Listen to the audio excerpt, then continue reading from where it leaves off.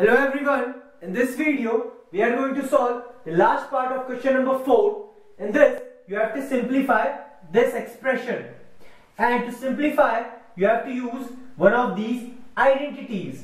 Okay now let's solve this. If I complete if I consider this m square as a and this complete term as b so this is a minus b whole square and if I want to expand this, so this can be expanded as a square plus b square minus 2ab. Now let's expand this one.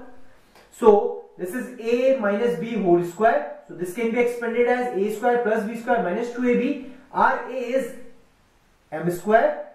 So this is complete square plus b square. Our b is n square m. So this is complete square.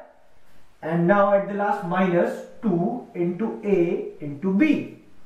And our a is m square and our b is m n square m.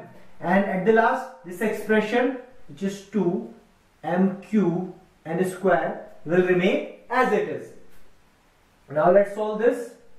Okay now this is m square raised to power 2 means when the we know that whenever the power are like these the power gets multiplied. So this will become m raised to power 4. Now similarly here also this is n square m raised to power 2. So when I have to solve n, so power gets multiplied, it will become 4 and this will become 2 because the power on m is 1. So 2 into 1 is 2. Now I have to solve this. There is only one constant. So 2 will remain as it is. Now I have to multiply m so obviously like term will be multiplied with like term and this is m square and n square. We know that whenever the base are same, the power gets added. So m square into m raised to power 1 will become m cube and at the last this will become n square and this value will remain as it is.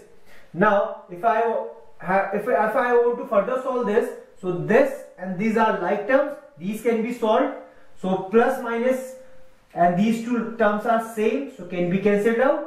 And the remaining one which is m raised to power 4 plus n4 m square should be the answer for this seventh part.